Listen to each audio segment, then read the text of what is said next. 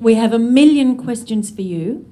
Um, and some have, of course, started in the panel. I would love to know what these techniques are that you've told Catherine in terms of bribing her son to take his medication.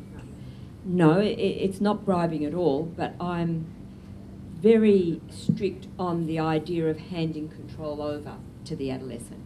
I look after spectrum of patients from near birth to very old age, so I have a rather unusual practice. So I look after young children, I see their parents, I see the angst that parents go through, just as has been described.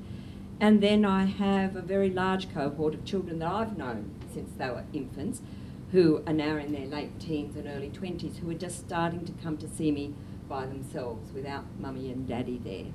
So I think it's really important that they understand what's wrong, not what mum and dad have told them all these years, not taking a puff because mum wants them to take it, but they need to understand what's going on with their health. So I go through the history with them, I do the tests, explaining to them what the tests are about, showing them their lung function, explaining what that is measuring and what it's showing us, and talking to them about the medication. I mean, there's a lot of mythology out there about what asthma medication is going to do to you. Now, you know, you all have horror stories because you grew up in the age before we had excellent topical therapy.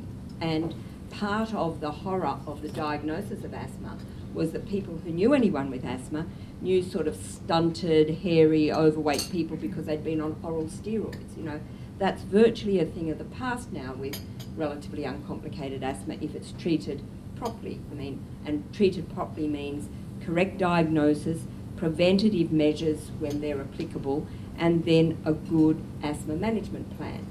And that is multifactorial as well. You need something to treat an acute asthma attack, and you need preventer therapy if it's appropriate, and you need a plan of what to do in an emergency, as well as understanding your triggers and knowing what you can do about avoiding or minimising them. So it's a holistic approach, and that takes time, and that's the problem because these days, unfortunately, with our health system, most GPs don't have the luxury of spending that amount of time with a young person to go through all that.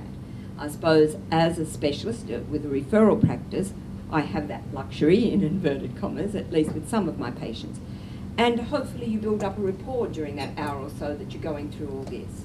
And then you, um, you bring them back for review to see how things are going. Now, with that approach, most will start to want to take control for themselves. Hopefully you've done it. And then the Asthma Foundation is a fantastic backup because you can then refer them to something that's non-medical, but they can then connect with other people with a similar problem that's to be managed. It's not going to rule their lives, but it's something that with knowledge and proper guidance with treatment they can manage and not have these awful stories.